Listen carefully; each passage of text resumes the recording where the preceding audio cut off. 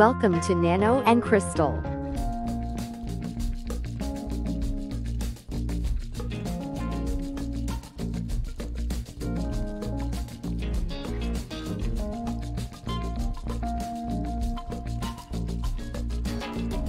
In my today tutorial, I will show how to calculate tolerance factor by employing Rietveld refinement technique in XRD pattern.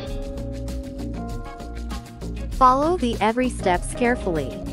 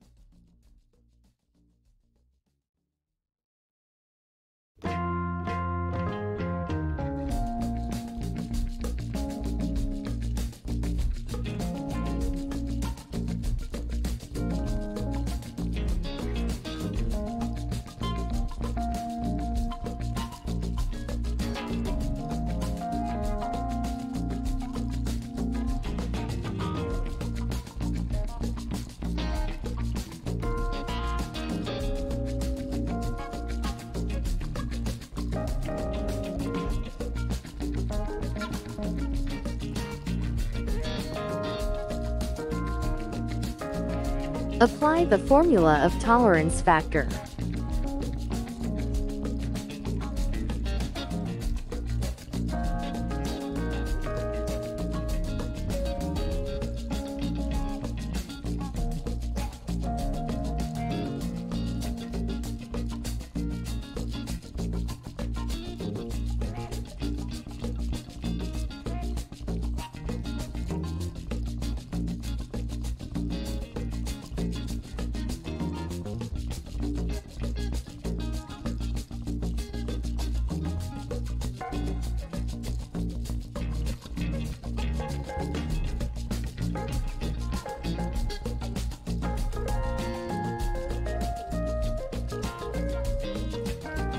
First, calculate the average radius.